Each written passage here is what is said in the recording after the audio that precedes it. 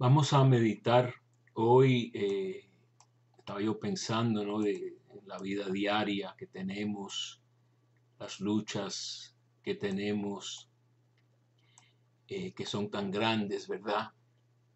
Y es la Sagrada Escritura la que nos puede alimentar, especialmente en estos días en que la comunión es difícil, ¿no?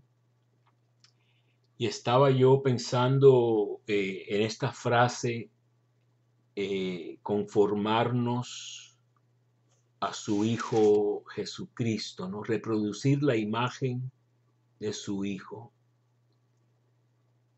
Y entonces eh, este capítulo 8 de la epístola a los romanos es, muy, muy importante, es uno de los grandes capítulos de, de toda la Biblia. La Biblia de Jerusalén lo le da por título La vida del cristiano en el espíritu. Así que ahora nos acercamos a la fiesta de Pentecostés. Y yo diría que, que es lo que nos puede dar mucha esperanza, ¿verdad? Vamos a leer, yo voy a leer bastante, creo yo, de este capítulo octavo de la epístola a los romanos, porque ciertamente sentimos nuestra debilidad eh, grandemente, ¿no? Yo he estado varias semanas sin limpiar mi, humilde apartamento y hoy me tocó comenzar y después de dos horas estaba muerto. Y me doy cuenta de la debilidad del cuerpo o de la carne cuando San Pablo habla de la carne, que habla de la carne bastante, no habla en primer lugar de, las pasiones sexuales, sino en sentido bíblico, eh, la carne, carne y sangre, como le dijo Jesús a Pedro, no, carne y sangre no te ha revelado que yo soy el Mesías, eh, sino mi Padre, etcétera. La carne y la sangre es la humanidad sin la ayuda de Dios. Y entonces nosotros por sí solos eh, estamos mal. Y es el Espíritu el que viene en ayuda de nosotros. Y es esto lo que nos puede dar eh, fuerza. Vamos a ver que es el Espíritu el que le dio vida y resucitó a Jesús. Así que en este misterio de la Trinidad que también vendrá bastante pronto, es un misterio tremendo, pero está el Padre, envía a su Hijo que se hace uno de nosotros, eh, que comparte con nosotros toda nuestra suerte, incluso en una situación eh, histórica y personal eh, muy especial, muy difícil, que es el imperio romano eh, y, los líderes religiosos judíos, más bien saduceos, sacerdotes, muy en, en, conspiración, vamos a decir, en colusión, en alianza con los romanos, especialmente Poncio Pilato. Y todo eso, claro, lleva a Jesús a nivel histórico a la crucifixión. A nivel teológico e, es el plan de Dios. Y es lo que nosotros también tenemos que meditar mucho.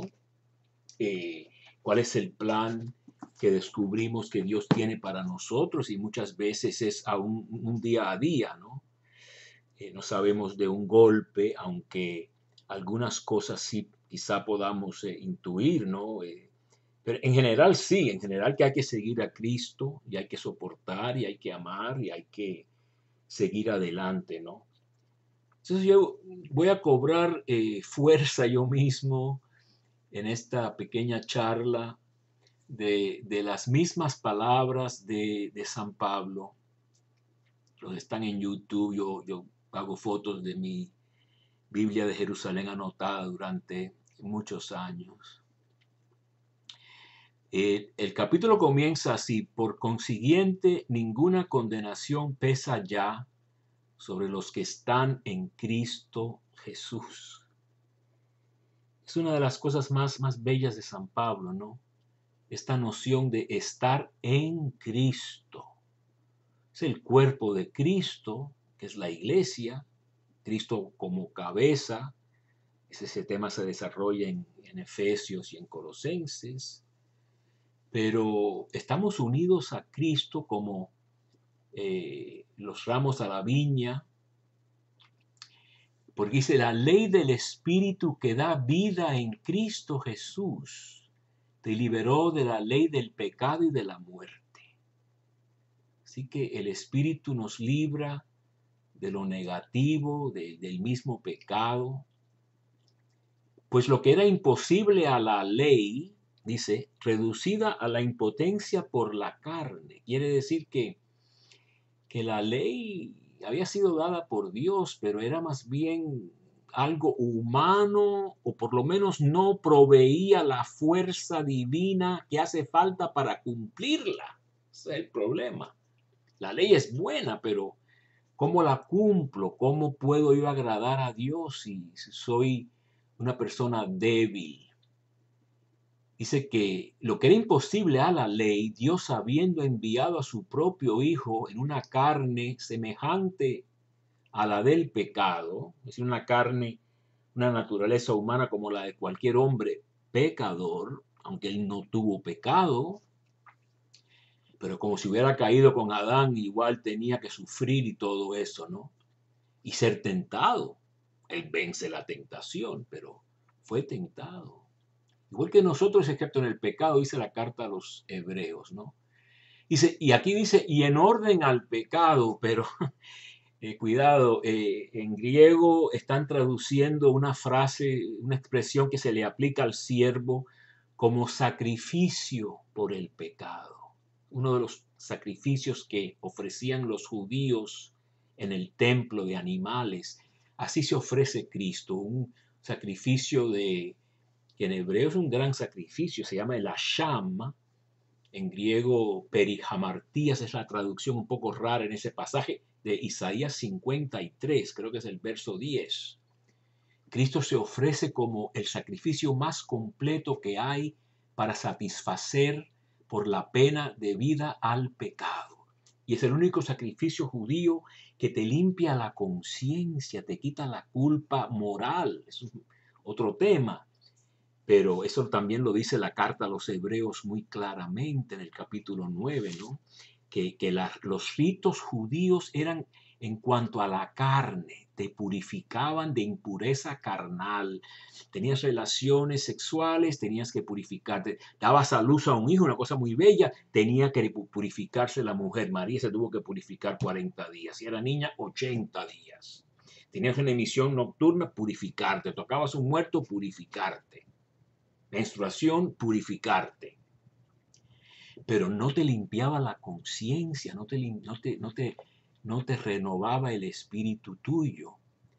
Y entonces dice que condenó el pecado en la carne, es decir, nos libra de el fatalismo de tener que pecar y desobedecer y de fiarnos nada más de nuestra fuerza humana carnal, de carne y sangre y de hueso. Eh, para que se cumpliera en nosotros que seguimos una conducta según la carne, no según la carne, sino según el Espíritu, a fin de que la ley de la justicia, o la justicia de la ley, es decir, lo que la ley exigía para darte lo que se llama justicia o, rectitud moral, estar bien con Dios, es lo que se llama la justificación o la justicia. En hebreo es una palabra que también quiere decir salvación, victoria, estar en buena relación, en buen orden con Dios. Eso es lo que, se traduce justicia en latín y después en español. En inglés hay otras palabras. Si nosotros seguimos esta conducta, no según lo que la carne va pidiendo, sino lo que el Espíritu nos va inspirando. Entonces yo no voy a, leerlo todo, ¿verdad? Eh, ustedes pueden leerlo. Voy a pasar a, otra, sección de la carta, muy bella, que dice que eh, eh, aunque el, cuerpo haya muerto ya a causa del pecado, o sea, un cuerpo ya mortal que va a morir y sufre y hasta tiene tendencia al pecado, el espíritu es vida a causa de la justicia. Y si el espíritu de aquel que resucitó a Jesús de entre los muertos habita en vosotros, si tenemos el espíritu, aquel que resucitó a Jesús de entre los muertos, dará también la vida a vuestros cuerpos mortales por su espíritu que habita en vosotros. Así que hermanos, no estamos eh, en deuda a la carne, sino al espíritu para hacer morir precisamente todos los impulsos egoístas, destructivos de la carne.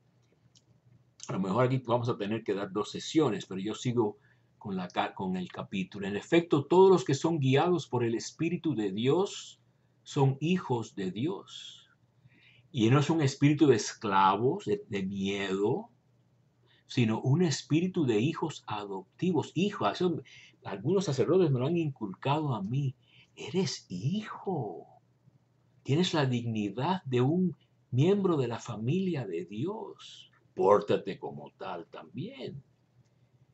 Eh, el hijo pródigo quiere regresar a casa después de los derroches y todas las cosas barbaridades que hizo, como simple siervo porque quiere comer.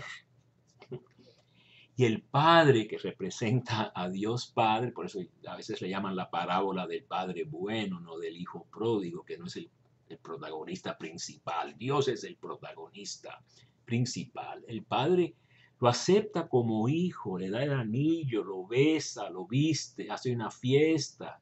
No, no, no permite que termine su discursito que había preparado para congraciarse con el Padre de, de nuevo a nivel de siervo. El mismo espíritu se une a nuestro espíritu para dar testimonio de que somos hijos de Dios. Eso a mí me, interesa mucho, ¿no?